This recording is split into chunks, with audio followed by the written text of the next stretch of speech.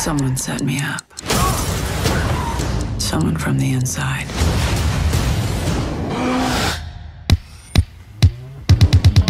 Lorraine, there's a double agent hunting our operatives in Berlin. Your mission, find out who did this. Remember, trust no one. Ah!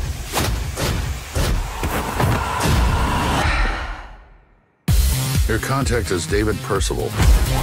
Ah! So what was your first impression? Disastrous. Berlin has its own set of rules. I trust you that as far as I can throw you. You sent me into a hornet's nest. But then you knew that, didn't you?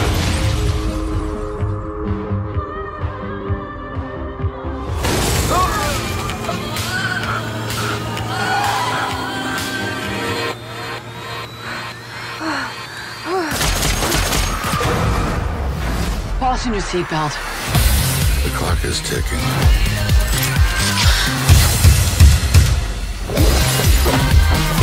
I'm impressed.